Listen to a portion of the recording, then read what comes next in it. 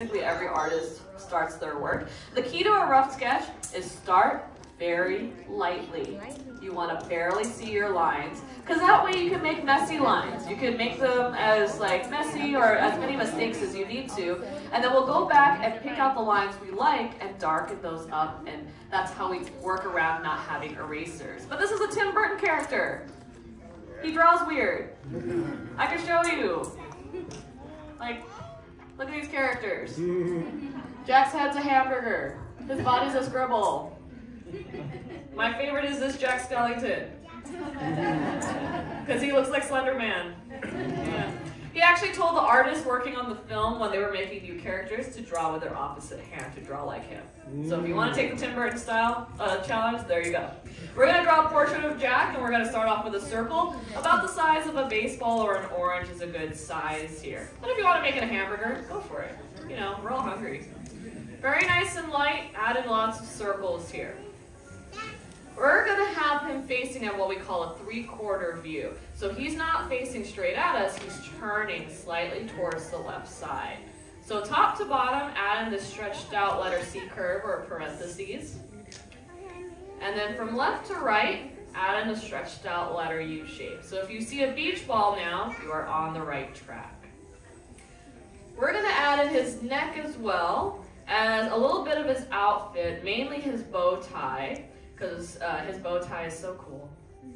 We're gonna add in these like this number 11, kind of tilted. You should have what looks like a cake pop or a golf ball on a tee right now.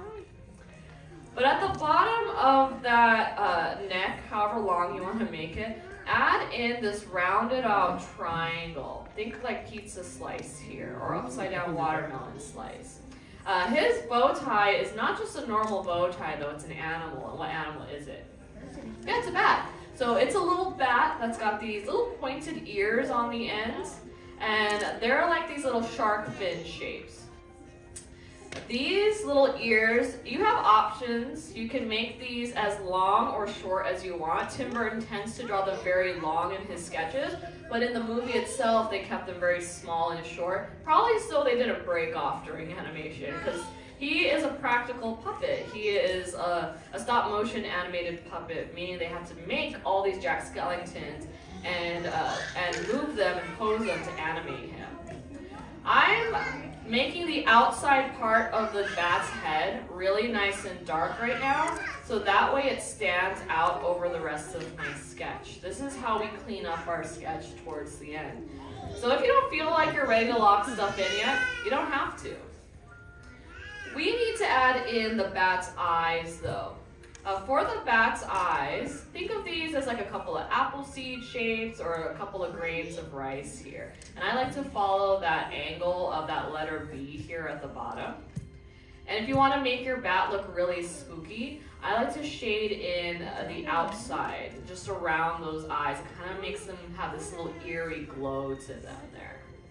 Uh, but what do bats need to fly with? Yeah, some wings. And that serves as the flare to the bow tie too. So for the bow tie, for the wings, I'm gonna add three rainbows on either side of the bat's head. Uh, think of this as like you're sketching out kitty cat whiskers here. Uh, so the, the rainbows on top and bottom are actually a little bit shorter than the ones in the middle. So you want to make that middle like rainbow very nice and long compared to the top and bottom one. And now you have a cat. Uh, but to make these bat wings, we're going to add the webbing in between. So you want to add these letter C curves connecting each of those rainbows here together. Uh, so that way this bat can fly if it wanted to, but I don't think it would, it's probably dead. Now, Tim Burton is the one who created the idea of The Nightmare Before Christmas, uh, but who directed the film? Henry Selick. Henry Selick, yes. He is the one who directed The Nightmare Before Christmas because Tim Burton was busy at the time that he was, uh, that Disney wanted to make this film. Uh, so he was busy working on another film, you know, it had to do with a bat and the man and he returns. Yeah. So Henry Selick took over um, because Tim and Henry both went to Cal Arts together and Henry was making stop motion commercials. So this movie being a stop motion film, uh, Tim Burton thought Perfect. Excellent. You know how to do stop motion. Now, I'm trusting you with my vision. Uh, so, Henry Selick is actually the one who gave Jack Skellington the pinstripes on his suit, because in that illustrated book, Jack Skellington doesn't have a pinstripe suit. It's solid black. And that actually proved to be very problematic when it came to the test shots of The Nightmare Before Christmas, because he couldn't see Jack. He would just look like a floating head. Uh, so it was Henry Selick's idea to give him that pinstripe suit. And after The Nightmare Before Christmas came out, he went on to direct uh, a couple of other stop motion films, such as Coraline, James and the Giant Peach, as well as Wendell and Wild. So keep your eye out for uh, Henry Selick. He's been doing a lot of good stuff. Everyone have a fancy looking cake pop now? Yeah, it's like very dressed up for his black tie event. We're gonna add in his face now. For Jack, being a skeleton, doesn't have eyes. He's got eye sockets. He's got these nice big uh, ovals here. So his eyes really fill up that space. You just want to sit it on top of that horizontal guideline there. And you just want to draw in these really large, like, almost like egg shapes. They're, they don't have to be perfect circles there at all. But keep in mind the turn of his head. He's at that three-quarter view. So his eye socket on the left is actually not going to be as wide as the one on the right. It's going to be a little bit on the thinner side. Now we're going to fill these in solid black. So both of these oval shapes, go in and fill them in all the way through. This is actually a look that Disney did not like for Jack Skellington because if you hear the baby out there, it's like this is that's what happened. Mm-hmm. They thought it was too scary. It was like, no, I don't want to look at it. Well, that's what Disney thought would happen anyways. And so they actually asked Tim Burton and Henry Selick to put like eyeballs in Jack's head. And they were like, no. So uh, Disney actually didn't put their branding on uh, The Nightmare Before Christmas when it first came out. They actually put it under a different studio that they acquired called Touchstone Films. And of course, the film did great, you know, kept Hot Topic in business after all. uh, so Disney changed their mind a few years later and put the Disney name right back on it. We're gonna add his nostrils here. He doesn't use these nowadays, so they're like withering away.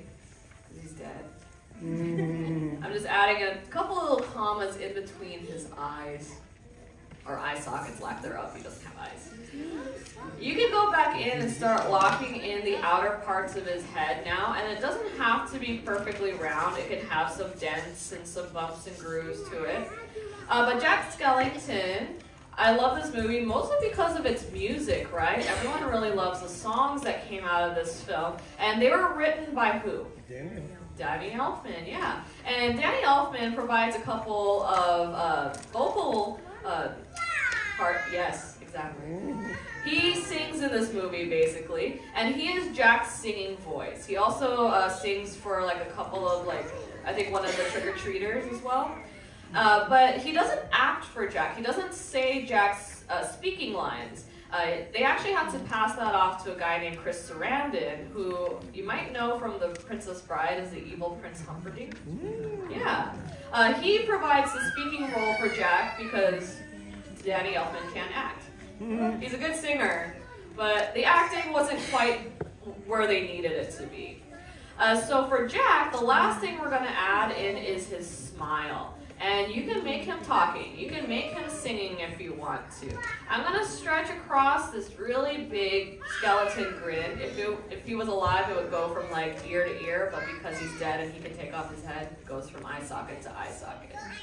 Add in these straight lines that go across his smile, just a couple of notches there. The more you add, the creepier he's going to look. But the last and final step that every artist needs on your sketch is going to be your signature. So find a good spot somewhere next to Jack and sign your name. All right, now that we're finishing up, did you guys have fun? Yes. I want to see how all of your sketches turned out, even if you're not quite finished just yet. Actually, who took the Tim Burton challenge out there? Who did the opposite hand? No one. Oh, goodness. Well, on the count of three, turn your boards around, right? One, two, three. Let's see Jack.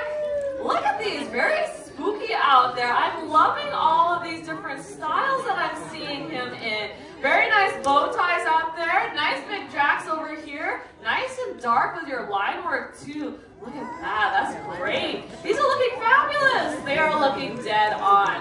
Give yourselves a big round of applause. You all passed the Animation Academy. Great job, everyone. Now these drawings are for you to keep and take home with you as a souvenir. I'm going to leave you here with Cami. She's going to help you guys on out. If we don't get to see you for another class though, we hope you have a great rest of your day and class is dismissed.